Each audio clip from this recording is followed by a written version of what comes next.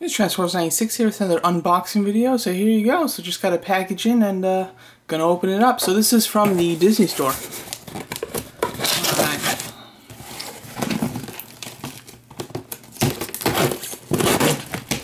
I'm uh, quite looking forward to this.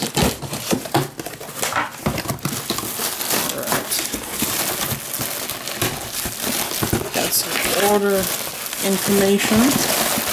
When we open it up, it is an Elite Series figure.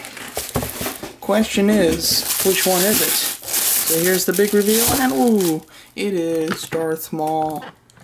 Very excited about this. So, oh, that's nice. You know, that's a really good idea. I wonder if anybody complained, but this little sticker they used to have on the boxes, because I have ordered from the Disney Store online to get Elite Series figures, and uh, they just put them on the back or maybe even the bottom of the boxes, so possibly somebody who bought this to keep it mint complained about that, because now they have uh, put the sticker on the tissue paper that's wrapped, uh, that the box is wrapped uh, in, so glad that they're doing that now, but very excited to get this Darth Maul. Uh, this isn't my first one, um, I do have a second one right here, as you can see.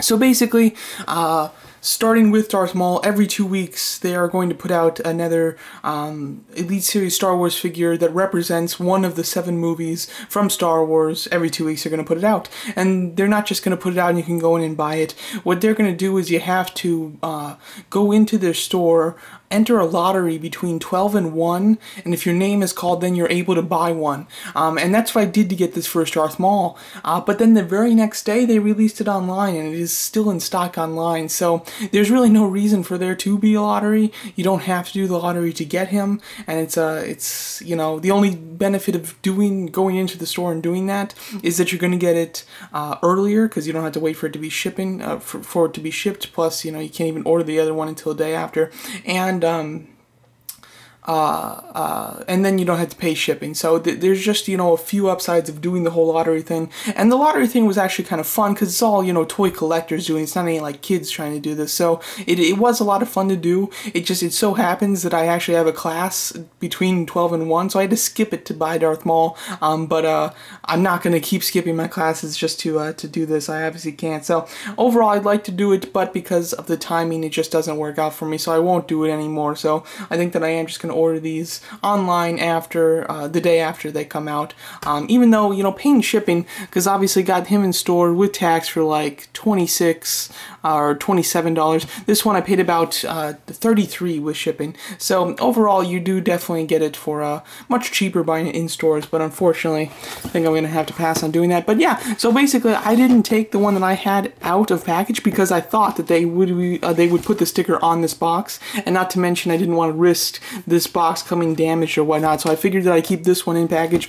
Um, but now I'm gonna have to take a look at them. I can see like the tape is a little scrunched uh, on this one, and while this one it's more even. But he his head is a little bit out of the plastic more in this one, while this one's more inset, which I think it, it, makes him look more secure. So I think I'm going to still keep this one in package. But nonetheless, I bought two because I want to open one and I want to keep one in package. Um, you know, I'm not going to do this for every Elite Series figure, but with this Darth Maul, he looked so good in package. Uh, just, he looks awesome, and his colors really match the coloring of the Elite Series, and I like the Elite Series packaging in general. So, overall, I couldn't bring myself to open them, so I decided to order another one instead.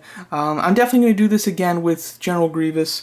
Um, I you're only limited, you're only able to buy one of him, so I think that I'm going to have to buy two, um, probably on two different cards or two different dresses. I, am not quite sure what I'll have to do. Uh, and unfortunately, pay shipping on both of them, but I will be buying two General Grievouses. Um, he, he looks really awesome, and he's really big too. Like his packaging is much wider than the uh, than the Darth Maul or anybody else's packaging. So I'm definitely going to get two Grievouses to keep one mint um, and to open one. But other, other than that, I think I'm just going to get one of each and just open them. Um, I plan to get Rey when I find her, and then uh, Captain Phasma, I guess if I would find another one of her, I would get another one just to keep one mint, because I already have one open. So yeah, the, but that's my plan. Um, with the Elite series, and there's my unboxing of Darth Maul. Very excited to open them, and now that I'm opening them, it means that uh, reviews coming up too. So very exciting. Uh, I'm very excited to film that and uh, and post it. So yeah, I'm loving this Elite series line. I either people love it or they just really don't get it, you know, and don't understand why you uh, we need the Elite series when we have the Black series. But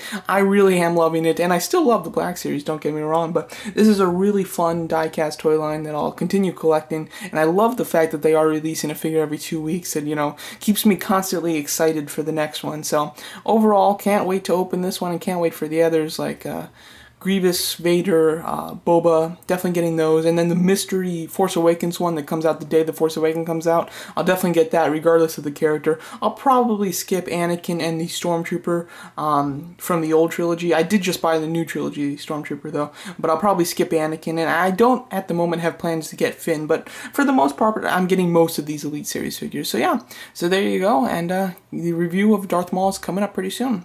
Thanks so much for watching.